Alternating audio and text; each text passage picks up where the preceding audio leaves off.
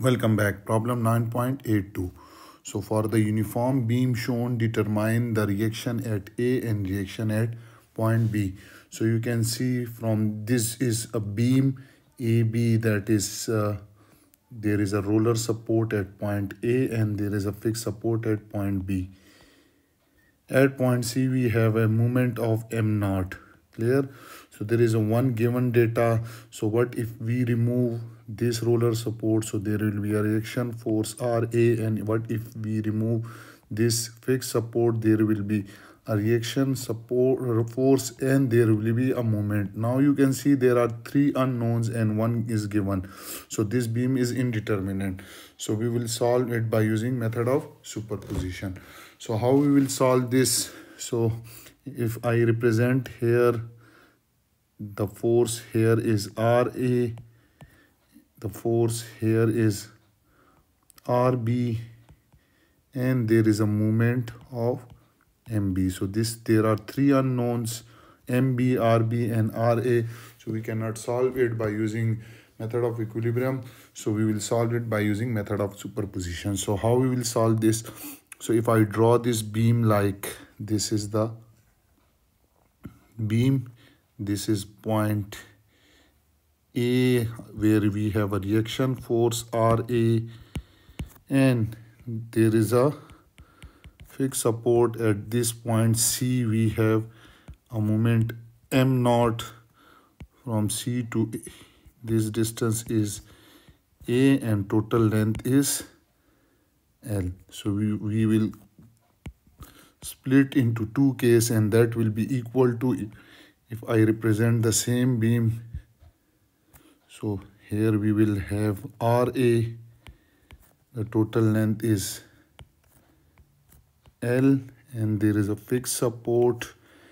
This is point B this is point A. Similarly this is point A this is point and at point C we have external moment M naught. And from this point till point C we have this distance is A. So we have represent this system over here. Okay. So what in first step is that you have to split it into two conditions. So I will first represent it. Let me clear it.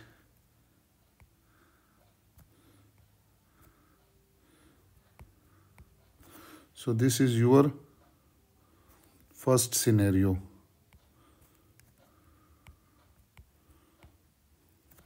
plus if I represent this beam so definitely this is point C where external moment M naught and from here this distance is A and total distance is L. And this is a fixed support B. This is point A.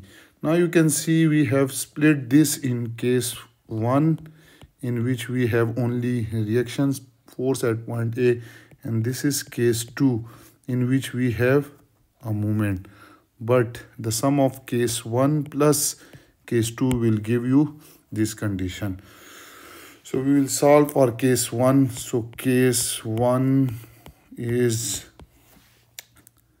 loading 1 loading 1 and how we will uh, solve this? So we will take case 1 of appendix D. So let's move and we'll check appendix D. So you can see here this is the case. Uh, let me show you. This is the case 1 of appendix D. You can see this is the maximum deflection. The force at one end is p.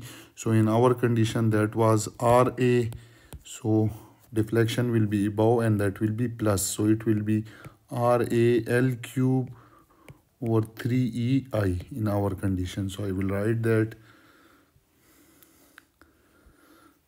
So y a dash will be equal to ra L cube over 3E I. this is the scenario. This will be the deflection. So this will be equal to ya dash and that will be equal to ra l cube over 3 ei now we'll move toward loading 2 so i will write loading 2 and loading 2 can be obtained by case 3 of appendix D. So what is the case 3? So let's check it. You can see this is the case 3. I will show you this is the case 3. You can see at the end of beam there is M and total length is L. So in this condition deflection is this one while slope is this one.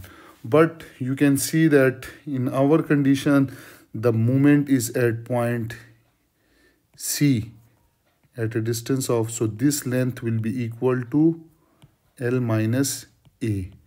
So our length here will be replaced by L minus A. So L will be equal to here your L will be equal to L minus A so here m into L minus A whole square over 2EI and it will be m into L minus A over EI. So we will write it. it.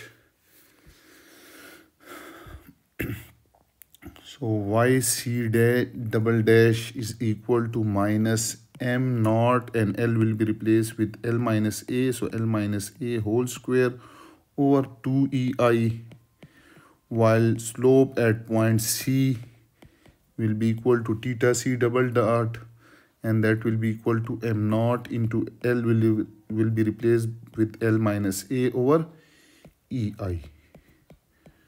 So what if I draw this scenario over here? Clear? You can see this is the simply support. So due to this external moment m naught, it will bend like this.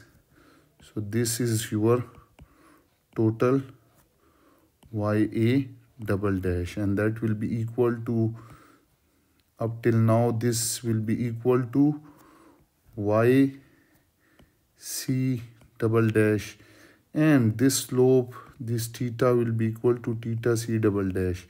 So ya double dash ya double dash will be equal to yc double dash plus theta c double dash into distance. This distance is a.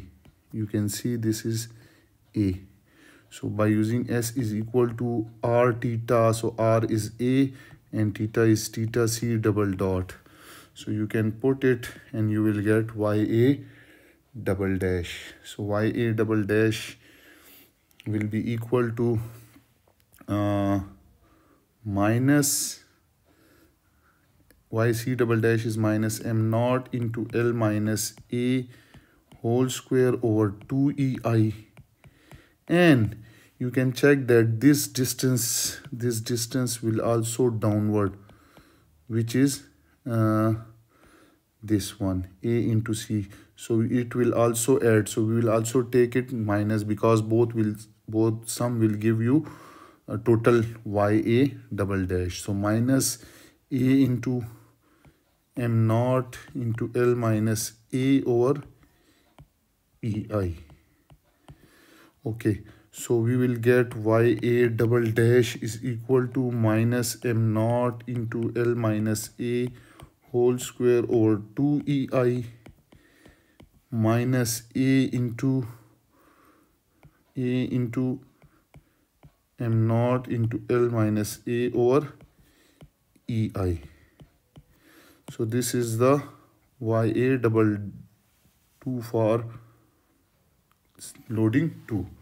Now we know that due to superposition, due to superposition and constraint, which is what is the constraint? Constraint is that YA is equal to 0 you can see that at point A we have a roller support. So at this YA is equal to 0 so also we will take ya is equal to ya dash due to loading 1 and plus ya double dash due to loading 2 their sum must be equal to 0 because at point a we know that total deflection is 0 so what we we will put the value ya dash is r a l cube over 3 ei plus y2 dash is minus this value.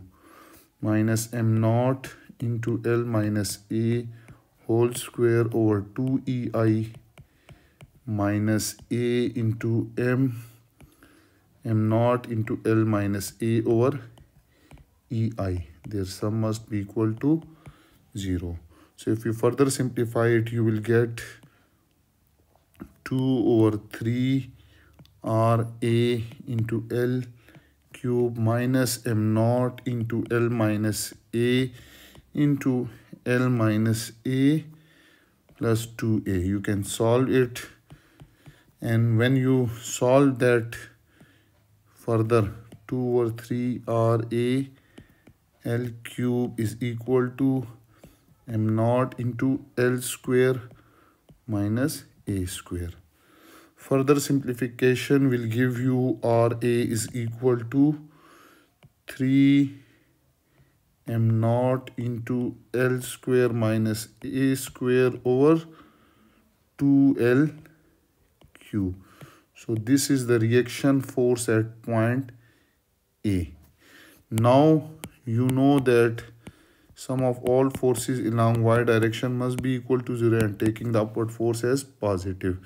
So we have only two forces. One is RA and that is RB. Their sum must be equal to 0. So RA plus RB is equal to 0 so we it means that rb is equal to minus ra and that is equal to 3 minus 3 m naught into l square minus a square over 2l cube. So we have assumed the rb direction upward and that it here upward. So it means that our assumed direction is wrong. So rb should be downward. Clear? Now we will find the reaction moment at point B. So what we will do is that uh, we will uh, find that sum of all moment about point B is equal to 0 taking the counterclockwise moment as positive.